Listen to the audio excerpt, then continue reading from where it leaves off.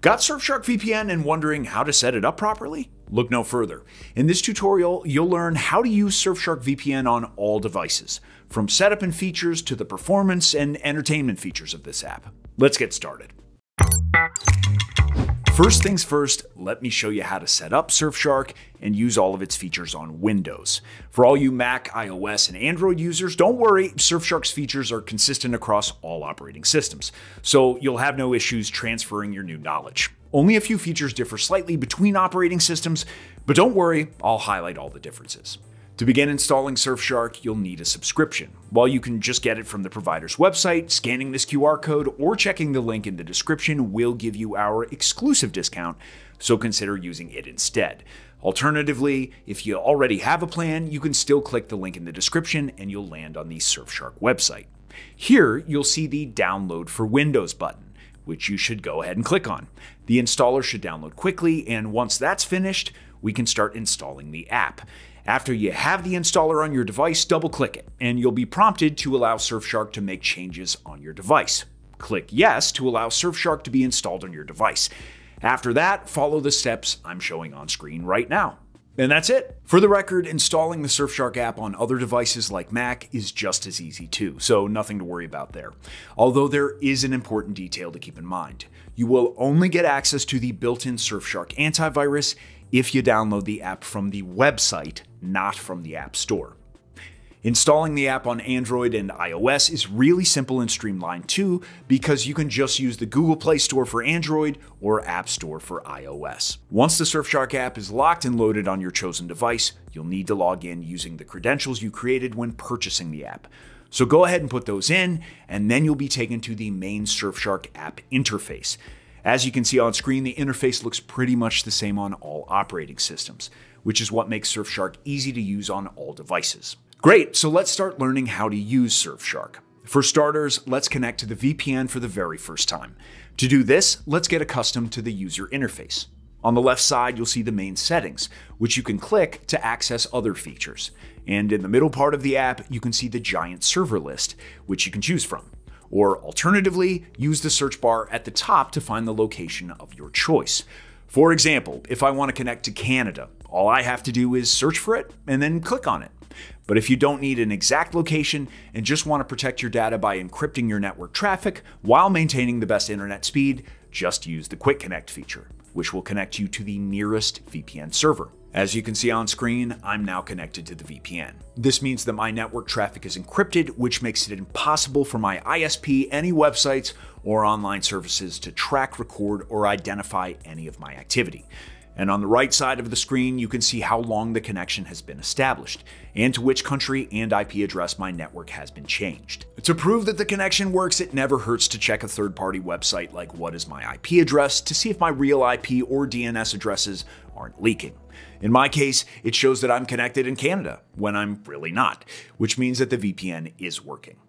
By the way, the act of connecting on Mac, iOS, or Android is pretty much the same, as you can see on screen right now.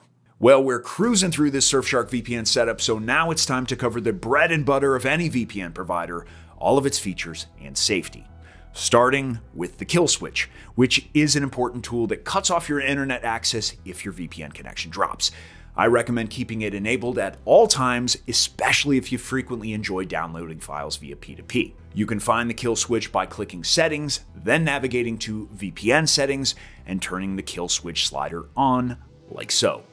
Clean Web is another feature that makes my browsing experience much smoother and safer by blocking any malicious ads and pop-ups. So, with Clean Web enabled, I can chill out and don't have to stress about accidentally clicking something that I wasn't supposed to click, like a phishing link. Clean Web can be found in the same VPN settings tab. Simply toggle it on, just like so, and you're ready to go. Next, we have the bypasser feature, also known as split tunneling. This tool lets me access services like banking that prevent VPN usage altogether while keeping my connection secure on other applications. To find this feature, click Settings on the left side and then select VPN Settings. Click Bypasser, and you're all set. We'll be back in the VPN settings tab a bit later. Now onto one of my favorites, Alternative ID. With this feature, I can create a new email alias for use with any new accounts I want to register. However, instead of having to manage dozens of email addresses, all messages will be forwarded to my real inbox. So in practice, I still have only one email, but it's hidden under my alternative ID. I can also create an alternative persona, including birth date, name, and address to maintain my anonymity online. If I find myself on a sketchy website for a brand I don't yet fully trust, or I just don't want to share my real information just because, I can use Alternative ID and I'm good to go. This feature is located in a separate section. You can find it by navigating to the main menu where the location list is shown and clicking Alternative ID just above the settings. Adding to its already rich feature stack, Surfshark also has a built-in antivirus, and it's super convenient because it's on the same app we just downloaded today, so there's no need to download anything else. Granted, it does come with a bit more expensive subscription called Surfshark One, but it's still pretty cheap. And Surfshark One also includes other features to secure your privacy, like search and alert. Surfshark Alert works as your own private search engine. Think Google, but without any trackers and the alert feature scans the dark web to see if any of your data has been breached. It's a good tool to protect your email address, credit card, and other personal information. You can find both of these features on the left side menu here.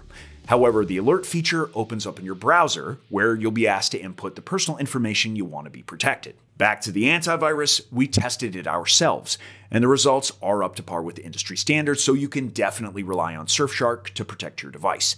And that was proven by independent testing too, with Surfshark earning 6 out of 6 points in protection in the latest AV test evaluation. To start a scan on the Surfshark application, click the antivirus button in the top left corner of the app. You'll see a new interface with all the antivirus features.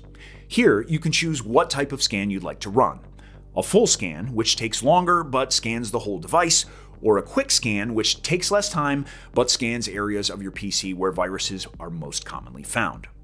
Real time protection is another core feature for any antivirus that protects your device 24 7 and removes any malware as soon as it's detected. So I'd recommend keeping it on always by switching that toggle on. Next, there's the rotating IP feature, which changes the IP address of the location you're connected to every 15 minutes, making it harder for advertisers and websites to track your activity online. As a result, any companies or snoopers who might be interested in your data won't be able to build an extensive profile on you and sell it to advertisers, making you more private online. To locate the rotating IP feature, go back to the VPN settings tab like we did before. Here, let's toggle on the rotating IP feature, and that's it. But the features don't end there in this Surfshark tutorial. The double VPN feature, aka dynamic multi-hop, allows me to connect through two different servers simultaneously. This means that my traffic gains an extra layer of security. What separates Surfshark from the rest of the VPN service providers is that it lets me connect to any two countries I want. This feature is good for those looking for even more security online. However, keep in mind it can slow down your internet connection speed. Unlike most of the other features we covered, multi-hop can be found underneath the location search bar in the menu right here.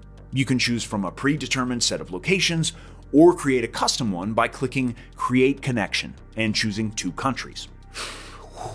I know that was a lot. Of course, talking about all the features is important if you want to learn how to use Surfshark VPN, but we still have a couple of crucial details to cover yet. We know that a VPN secures your network, but how does it do that? Well, encryption protocols are used to accomplish this, and when it comes to security and speed, their performance can vary. Surfshark uses top notch protocols to protect your data and has multiple options for you to play around with. To change the protocol, go to Settings, then VPN Settings, and click Protocol. There you'll find three different options to choose from. All of these are good, but WireGuard is the fastest and newest one, so I recommend using it. And finally, to check your account status and information, click Settings and then My Account. Here you'll see info like your subscription period, you'll be able to change your password, and more. If you'd like to give Surfshark a shot, scan the QR code on screen to get the best Surfshark coupon code or click the link in the description. So is Surfshark good and is it worth learning to use?